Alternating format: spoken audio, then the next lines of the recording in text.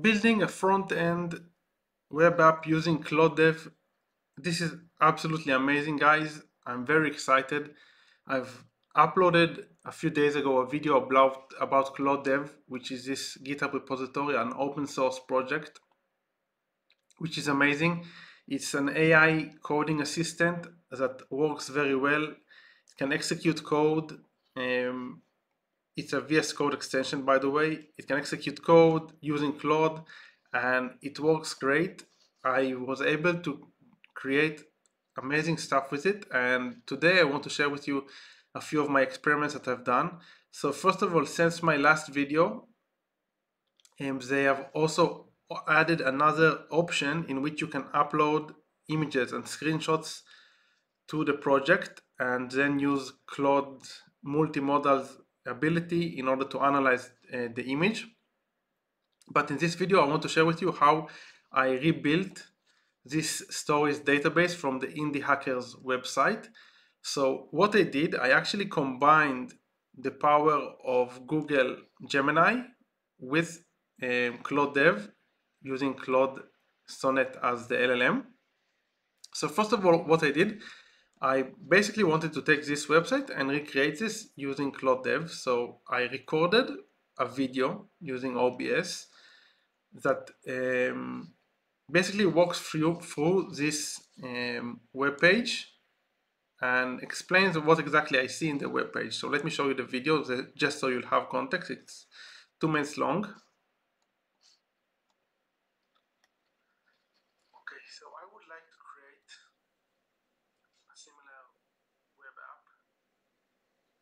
these options of sorting, sort by newest, oldest, highest revenue, lowest revenue, sort by.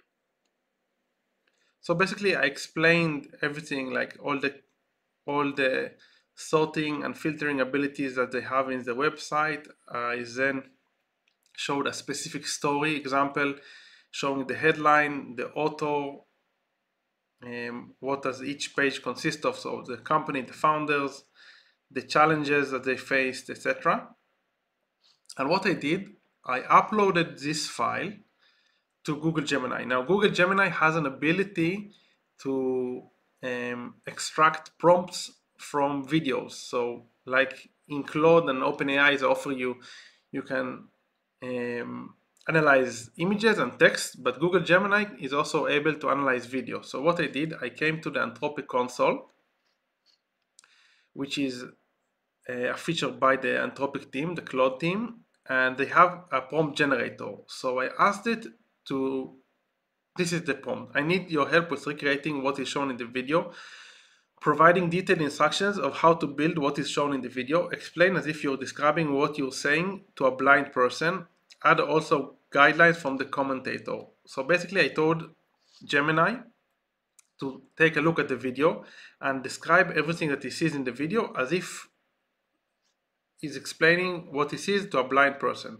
And the prompt that Claude generated was, you are tasked with, we are tasked with providing a detailed description of a video and instructions or how to recreate what is shown in it. Your goal is to explain the content as if you're describing it to a blind person, ensuring that every visual detail is conveyed clearly and comprehensively. First, you will be presented with a description of the video content. Read this carefully as it will form the basis of your detailed explanation. Now they open XML tags, which is incorrect, but never mind. Using this information, provide a thorough step-by-step -step description of what is shown in the video, include detail about the setting or the environment, the people or objects involved, the actions or processes being demonstrated, any changes or transformations that occur, the sequence or event as they unfold. Be sure to use vivid descriptive language that paints a clear picture of someone who cannot see the video. Explain colors, shapes, sizes, etc. In addition to describing the video content, you should also incorporate guidelines provided by the commentators. Integrate these guidelines into your description and instructions when appropriate, ensuring that they complement and enhance your explanation of the video content. Present your response in the following format. A detailed description of the video content, step-by-step -step instructions on how to to recreate what is shown in the video. I will just read slower and if you guys are interested, you can just view the video at 2x because it's a bit tiring. Yeah, so moving on, any additional insights or tips based on the commentator's guidelines, enclose your entire response with answer tags, use appropriate subheadings to organize your response clearly. Now, so this was my initial prompt to Google Gemini using the newest model. So as you can see here, I uploaded the video, which was 28,000 tokens, and then I gave it a prompt, and this was the response.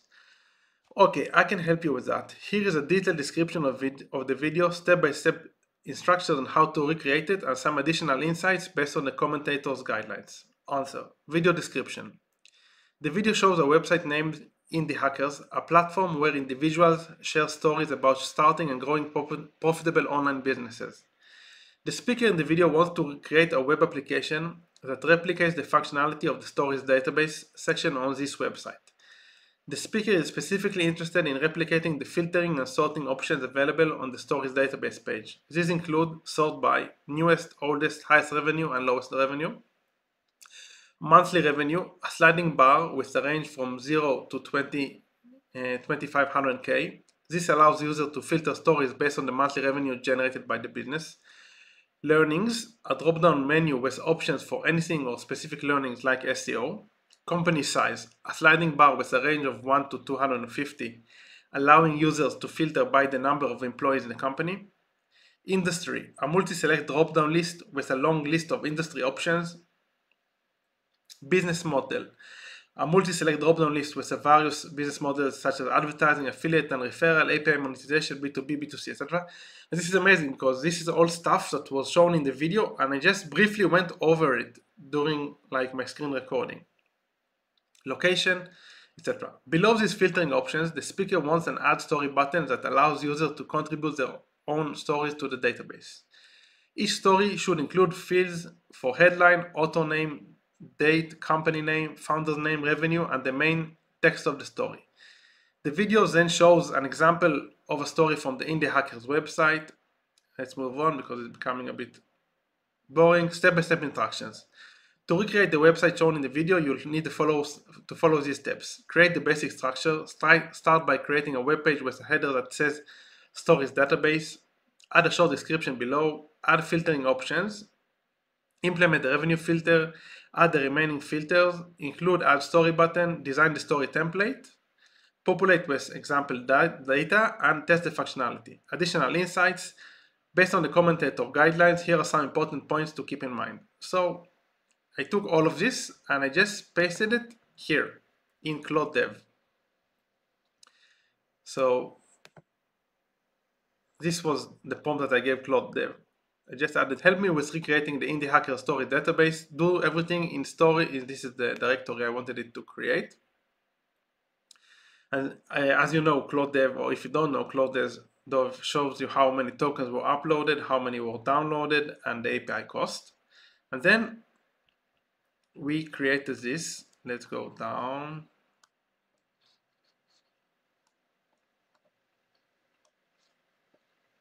close this oh never mind. It's it it uh, for some reason I don't think they have history um, but this sucks so but never mind. Anyway so I gave it the prompt. It created the first version.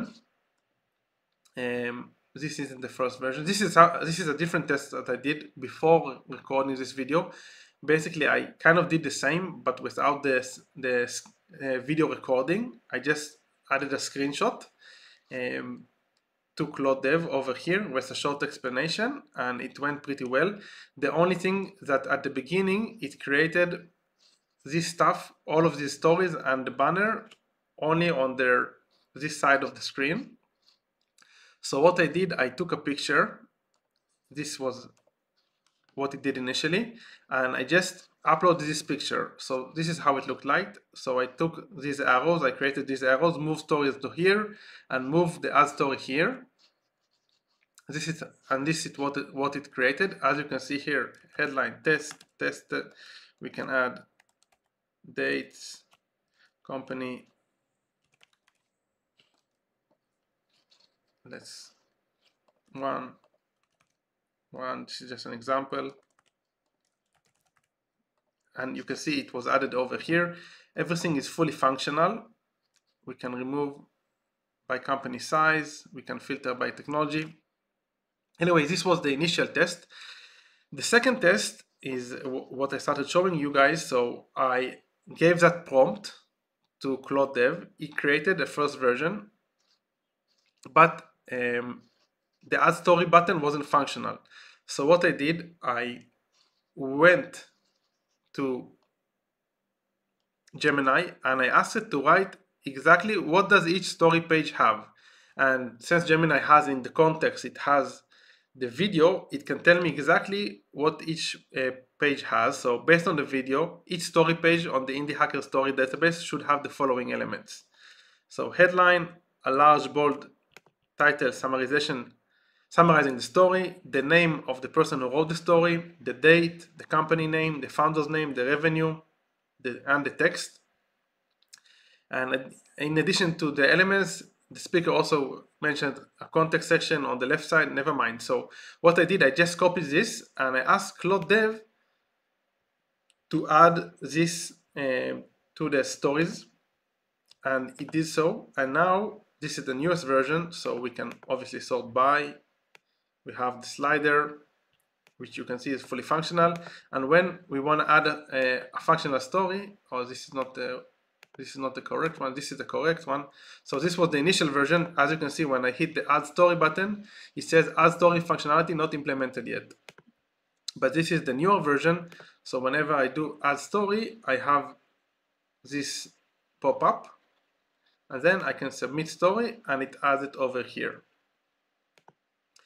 Yeah, obviously there are still many things that needs to be adjusted and fixed and make it mobile responsive and searchability.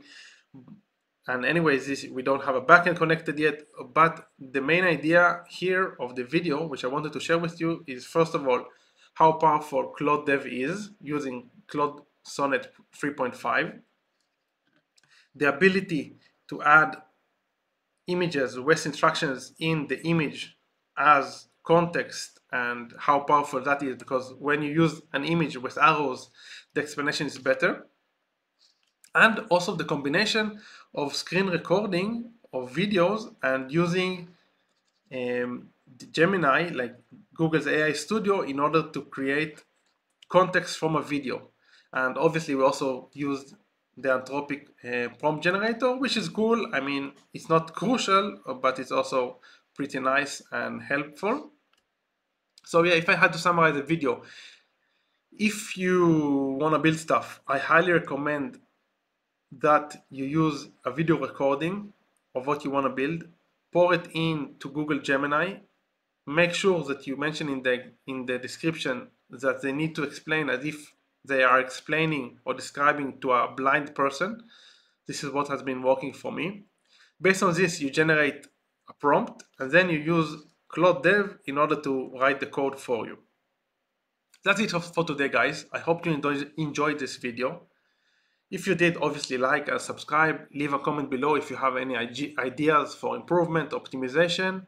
And please make sure to check out other videos on my channel. And yeah, I guess that's it. Until next time, keep on automating.